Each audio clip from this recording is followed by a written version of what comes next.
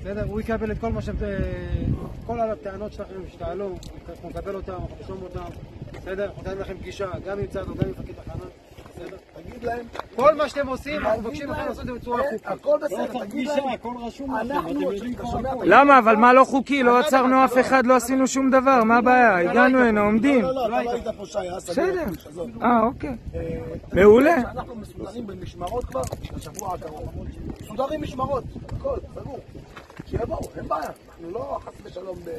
מה המטרה? מה המטרה? אם? יצמידו לנו שוטר, זה מה שאמרתי, זה הפתרון. המטרה להחזיר את המשילות. מה זה מה המטרה? פה רוביקן בלי מספרים. היום. השבוע האחרון, 700 ליטר סולר, כבר- יותר, יותר. כבר שמע את זה, שמע את זה. זה המטרה. חיתוך גדר, כניסה למושב, שוטטות. אתה יודע, הולכים לישון, קמים בלילה, הפתעות. הפתעות.